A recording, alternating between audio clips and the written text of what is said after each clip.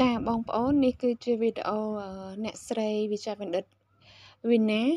គាត់បកស្រាយអំពីការសម្រក់កំឡោដែលល្អបំផុតចឹងបងប្អូនរីករាយស្ដាប់ទាំងអស់គ្នាទៅខ្ញុំថតចម្លងប្រហែលជាបានប្រហែលនាទីដែរឆ្លើយថាឲ្យតែបងអត់អាហារខ្លួនឯងមួយពេលមិនថាពេលល្ងាចឬក៏ពេលថ្ងៃគឺជាការពិតគឺស្រកទម្ងន់ហើយស្រកចង្កេះខោ ចាស្រកក្បាស់ពោះនិយាយឲ្យចាំចាក៏ប៉ុន្តែនេះខ្ញុំសង្កេតឃើញថានៅពេលដែលគេបំអត់នៅពេលថ្ងៃមួយពេលហើយញ៉ាំអាហារល្ងាចពីក្បាលប្រលប់ដូចជាម៉ោង4ឬក៏ម៉ោង5មិនឲ្យលើសពីម៉ោង6នោះគឺស្រកបានល្អជាងហើយមានផលប៉ះពាល់តិចជាងចាអឺតាមធម្មតារាងកាយរបស់មនុស្ស បើសិនជាយើងអត់អាហារត្រឹមពីម៉ោង5រហូតដល់ម៉ោង7គឺมันមានផលប៉ះពាល់អ្វីទាំងអស់ហើយផ្ទុយទៅវិញអាចជាសះស្បើយពីជំងឺជាច្រើនដែលក្នុងនោះមានទាំងជំងឺទឹកនោមផ្អែមជំងឺលុះឈាមជំងឺឡើងជាតិពុលជំងឺគេងមិនលក់ជំងឺរលាកសន្លាក់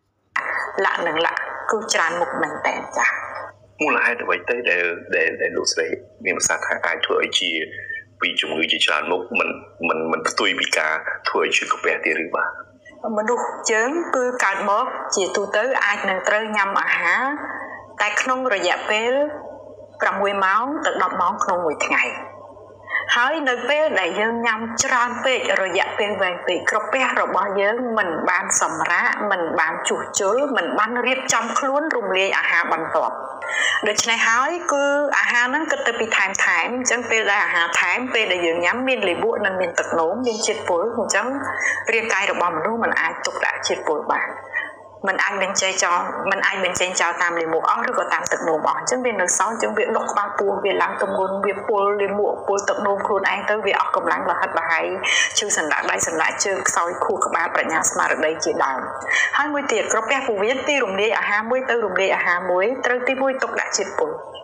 ហើយទី2ត្រូវជួសជុលមកវិញហើយទី3ត្រូវផលិតអង់ស៊ីមដើម្បីរំលាយអាហារបន្ទាប់អញ្ចឹងក្រពះពោះវៀនមិនបានធ្វើអ្វីទាំងអស់ចុះខ្សោយមួយថ្ងៃបន្តិចមួយថ្ងៃបន្តិចមួយថ្ងៃបន្តិចដោយសារមិនបានសម្រាក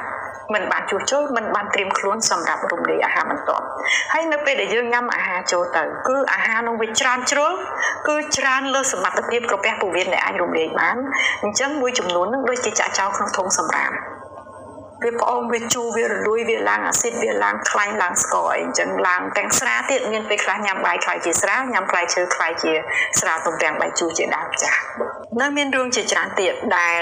សរសៃប្រសាទរបស់យើងគឺទី1វាបញ្ជាឲ្យយើងបញ្ចេញលាមកនៅពេលដែលយើងគិតទៅពីដាក់ចូលទៅចូលទៅមិនបានជួសជុលគឺបញ្ចេញលាមកលែងចង់អស់ ណាជាទូទៅបើសិនជាយើងញ៉ាំមួយដងឬពីរដងបីដងក្នុងមួយថ្ងៃគឺយើងបញ្ចេញលាមកមួយដងតែដល់ពេលយើងអ្នកខ្លះឡើង5ដង6ដង7ដ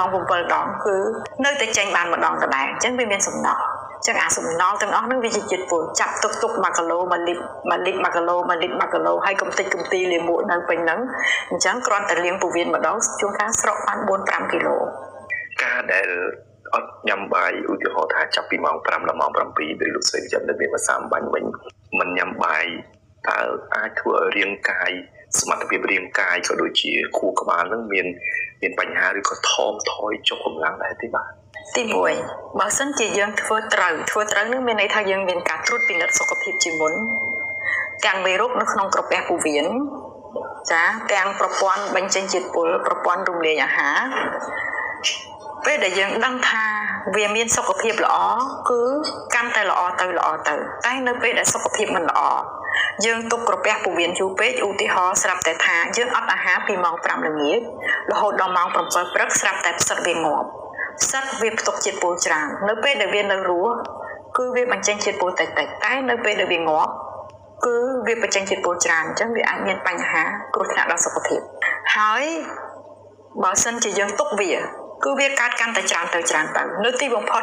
គឺផ្សិតនឹងធ្វើឲ្យយើងសក្តិររាងកាយយើងពុកទាំងថ្មិញពុកទាំងឆ្អឹងទៅសៃឈាមកាពះពោះវៀនរលាកជាតិពុលរបស់វាគឺនិយាយរួមវាអាចបង្កជំងឺគ្រប់រូបតាំងពីក្បាលដល់ចុងជើងតាំងពីផ្លូវផ្លូវកាយដល់ផ្លូវចិត្តអញ្ចឹងមានពេលខ្លះយើងទៀមទាឲ្យយើងសម្លាប់ផ្សិតជាមុនសម្លាប់វាបន្តិចម្ដងបន្តិចម្ដងដើម្បីកុំឲ្យវាងាប់ទាំងអស់វាកពុបគីមីមកដូចបែកកឡគីមីនៅក្នុងកាពះពោះវៀនចា ហើយការដែលយើងបង្អត់អាហារបើសិនជាបង្អត់អាហារក្នុងមួយថ្ងៃមួយពេលខ្ញុំសង្កេតឃើញថាអត់អាហារនៅពេលថ្ងៃគឺស្រកទម្ងន់បានល្អជាងហើយសុខភាពផ្លូវកាយនិងផ្លូវចិត្តបានល្អជាងយើងបង្អត់អាហារនៅពេលល្ងាចមានន័យថាយើងញ៉ាំតែអាហារថ្ងៃត្រង់ហើយឧទាហរណ៍ថាយើងញ៉ាំម៉ោង12 តែម៉ោង2ឡើងអីគឺកាពះពោះវៀនយើងទំនេរហើយព្រោះ2ម៉ោងគឺស្អាតអស់ហើយអញ្ចឹងចាប់ពីម៉ោង2ទៅរហូតដល់ភ្លឺម៉ោង6ម៉ោង7ហ្នឹងគឺកាពះហ្នឹងទំនេររហូតអញ្ចឹងបើសិនជាយើងអស់ពេលល្ងាចបែបហ្នឹងគឺអាចធ្វើបានលុះត្រាតែជាព្រះសង្ឃសួរថាហេតុអ្វីព្រះសង្ឃមិនមានក្រុមគ្រួសារប្រពន្ធកូនដើម្បីឲ្យយើងគិតគូរលំបាកកើត stress ទេក៏មិនមានការងារត្រូវបំពេញក៏មិនមានក្រុមហ៊ុនត្រូវត្រទ្រង់គ្រប់គ្រង អញ្ចឹងអត់មាន stress មួយថ្ងៃមួយថ្ងៃគឺសូត្រធម៌តាំងសមាធិអត់មាន stress ហើយ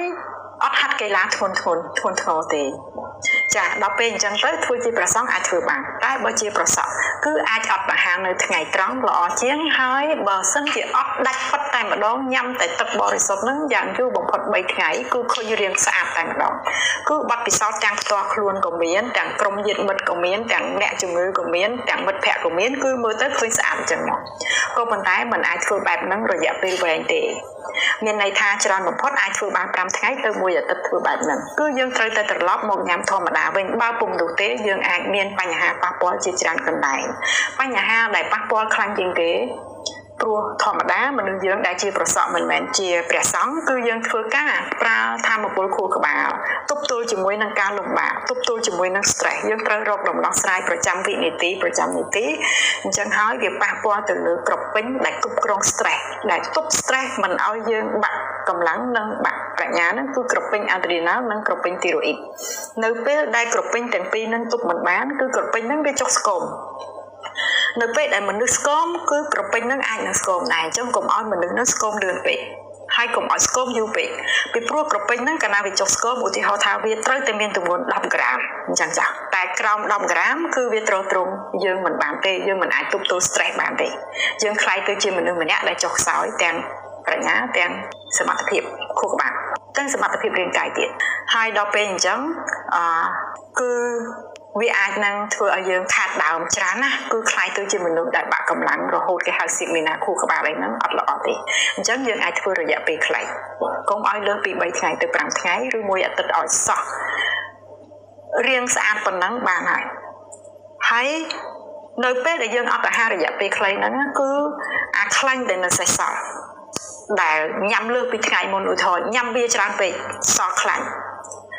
ញ៉ាំនំច្រើនពេក ញ៉ាំបង្អែមផ្លែឈើច្រើនពេកវាសល់អញ្ចឹងប៉ុណ្ណឹងគឺយើងយកទៅបោះសម្អាតអស់បោះសម្អាតអាទម្ងន់ដែលលើអស់រលីងអញ្ចឹងវានៅសល់តែរាងស្អាតចេញមកហើយយើងញ៉ាំបន្តវិញធម្មតាគ្រាន់តែថាខ្ញុំនិយមឲ្យប្រើប្រាស់របបអាហារ fasting ហ្នឹងគឺញ៉ាំមួយថ្ងៃ3ពេលញ៉ាំល្មមហើយឧទាហរណ៍ថាមួយថ្ងៃយើងញ៉ាំ10ម៉ោង ឧទាហរណ៍ថាញ៉ាំពីម៉ោង8ព្រឹករហូតដល់ម៉ោង6ល្ងាចគឺ10ម៉ោង10ម៉ោងហ្នឹងចែកឲ្យបាន3ដងក្នុងមួយថ្ងៃហើយពីមួយពេលទៅមួយពេលត្រូវតែមានគម្លាតយ៉ាងតិច4ម៉ោងពេលហ្នឹងបានក្រពះពោះវៀនយើងនឹងវាស្អាតវាទុកដាក់ជាតិពុលហើយវាមានសមត្ថភាពត្រៀមរំលាយអាហារបន្ទាប់កុំឲ្យអាហារបន្ទាប់ហ្នឹងយកទៅចាក់ចោលដូចជាចាក់ចោលក្នុងធុងសម្រាម